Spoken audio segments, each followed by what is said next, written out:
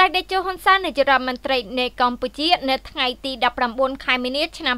2020បានថ្វាយសារលិខិតថ្លែងអំណរព្រះរាជគុណសម្ដេចព្រះមហាក្សត្រីនរោត្តមមុនិនាថសីហនុព្រះវរៈរាជមេដាជាតិខ្មែរដែលបានប្រទានព្រះរាជទ្រព្យចំនួន20,000ដុល្លារដល់រាជរដ្ឋាភិបាលកម្ពុជាសម្រាប់សកម្មភាពបង្ការនិងទប់ស្កាត់ការរាតត្បាតនៃជំងឺ Covid-19 ដែលកំពុងរាលដាលនាពេលបច្ចុប្បន្ន។